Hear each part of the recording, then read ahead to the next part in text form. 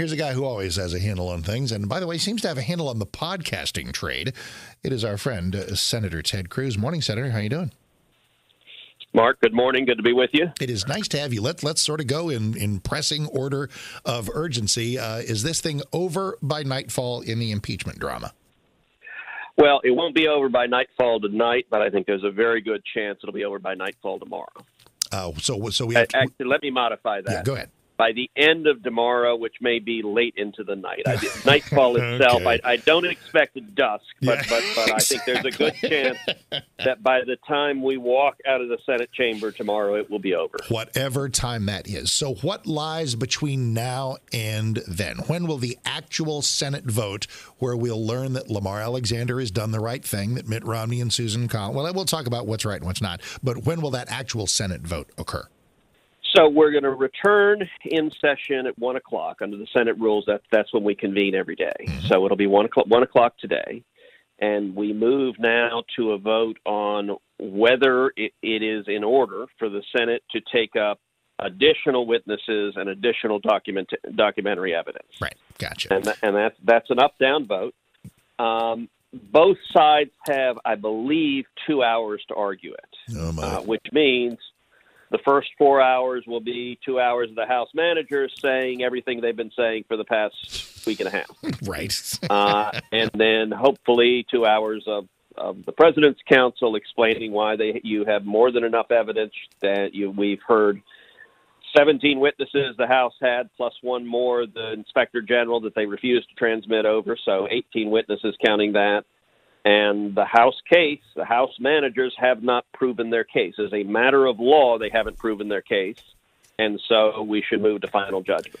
Do we, After that, ar- that argument mm-hmm. ends, then we'll vote. And um, I, I think it is now very, very likely that the House Democrats will lose that vote, which means we will not be taking additional witnesses uh, or extending the trial weeks or months into the future. And if indeed Lamar Alexander has achieved clarity, and we're not going to flip a Cory Gardner or a Martha McSally, which I don't believe is going to happen, it then suddenly doesn't matter what uh, Murkowski, Collins, or Romney would do.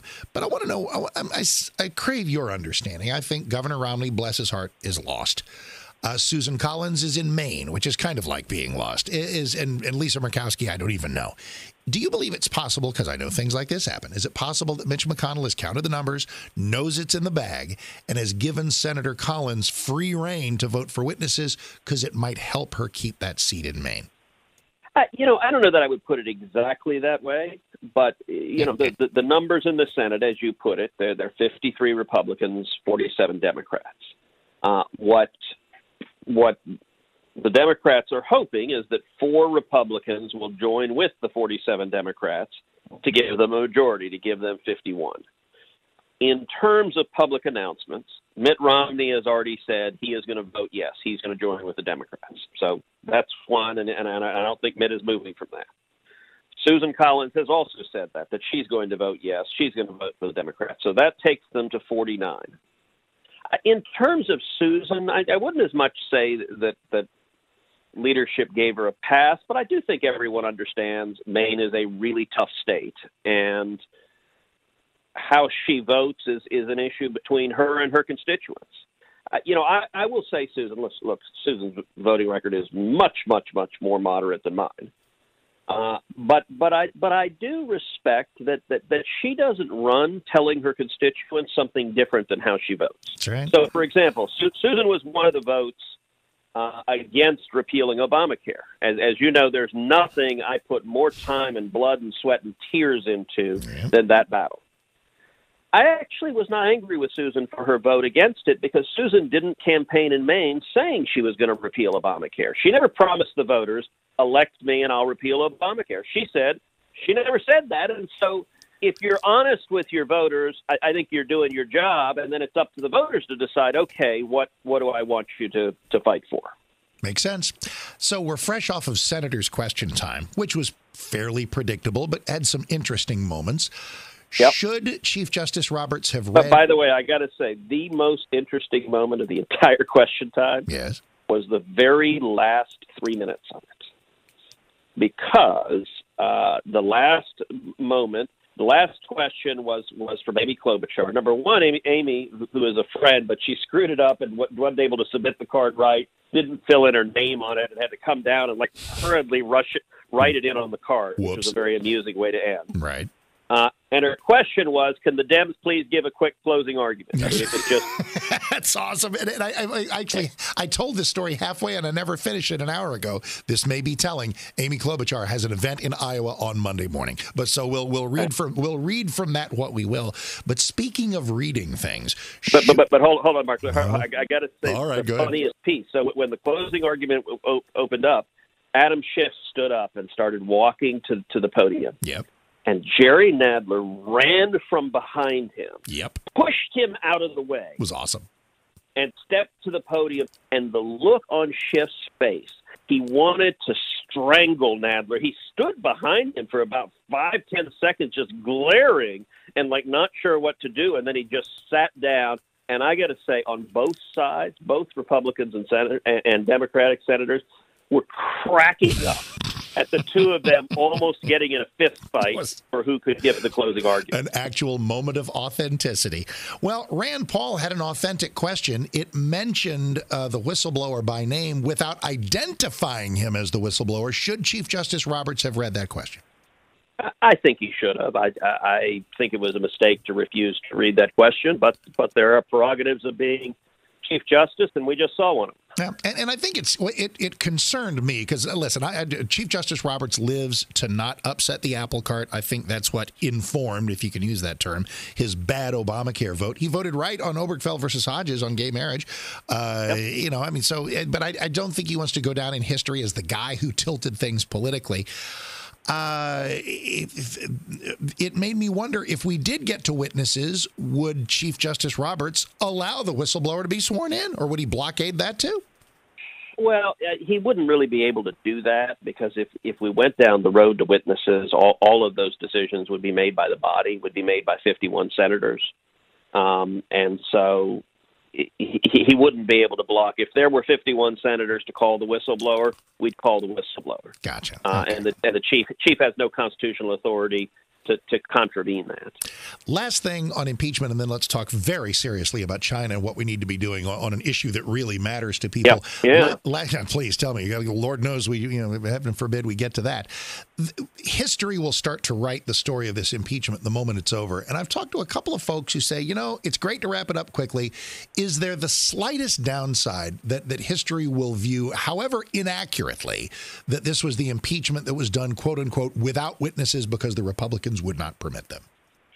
Well, of course, history will view it that way because history professors are all liberals, and so that's that's how they'll write the history books. Uh, but to be honest, they were going to write the history books that this was a travesty of justice, no matter what happened, because their view, as long as Donald Trump is acquitted, for the hard left, it's a travesty of justice. So the only outcome that would be acceptable would be convicting him and removing him from office, which they knew from when this began the chances of that were zero. And and so it is not correct to say there were no witnesses. There were, there were 18 witnesses. We heard we heard hours and hours and days of evidence and testimony and, and, and arguments. We we gave both sides a full and fair opportunity to present their case, much more than the House did. The House blocked out the minority witnesses, blocked out the White House, refused to hear the other side of the evidence. That was not the case here in the Senate. It was fair. We respected due process. But we also addressed the legal issue before the Senate, which is whether the president has committed high crimes or misdemeanors. And the central issue that resolves this case is that, the president always has the authority and, in fact, the responsibility to investigate credible evidence of corruption. And in this case, there was more than enough evidence of corruption concerning Burisma, the corrupt Ukrainian company that was paying Hunter Biden, Joe Biden's son, a million bucks a year while Joe Biden was the point person for the administration on Ukraine and while Joe Biden blackmailed, threatened to threatened to cut off a billion dollars in foreign aid to Ukraine unless they fired the prosecutor Yeah. Who was prosecuting Burisma, the company that was paying his son a million bucks a year. That's more than enough to investigate. I, can I pl- prove conclusively that Joe Biden was corrupt? No. but that's more than sufficient to investigate that question because I got to say that fact pattern stinks. It raises enormous question on its face. It suggests very real corruption. The president asked that it be investigated, and that was perfectly legitimate. Therefore, the president did not commit high crimes or misdemeanors, and it cannot be removed from office. That's the straightforward legal basis and the reason the president will be acquitted tomorrow. And that's what I've shared with all my friends who said, "Oh, but witnesses could have been cool." Yeah, as much political theater and delightful moments on Fox as it would have been to have Hunter Biden or the whistleblower. Look, just let's let's let's get on with the rest of our lives. Literally two minutes. Yeah. Senator Cruz with us. I've called for days already, uh, and I'm not the smartest guy in the room. Why in the world is one plane landing from China in the United States right now? I'm not talking about for a year, but until we get seem to get a handle on this, is that exactly what you have called for? A travel ban and increased airport screening. By the way, to be fair, and I've been to your studio, I think right now you're the only guy in the room. That's exactly so. By def- by definition, by Sorry, definition, Mark, I, I couldn't uh, resist. but that. oh boy, you, they catch him on the podcast, everybody. Uh, yes, you're right. Uh, look, this coronavirus is real. It's serious. It's dangerous. We're still learning how infectious it is. We're still learning uh, the lethality of it. But but we shouldn't be taking a risk with a potential pandemic. Uh, I've called this morning for for the the government to ground flights between the United States and China. Uh, that's a serious step. We have a lot of economic ties with with China, but when you're dealing with the spread uh, of an epidemic, the first step is to contain it. This should be hopefully a temporary halt, but we need to make sure that we're not putting people in contact with a deadly virus that could spread in the United States and, and that could take a lot of American lives. All right, the conservative wisdom and sometimes the comedy stylings of Ted Cruz on that Verdict with Ted Cruz podcast. It, he's the Adam Carolla of the Senate. It's on Spotify. It's everywhere. Congratulations on that, and thank you, sir, for your guidance and leadership. Let's talk again soon with impeachment in the rear view mirror. How about it? I appreciate it. Thanks, Mark. God bless Senator Ted Cruz.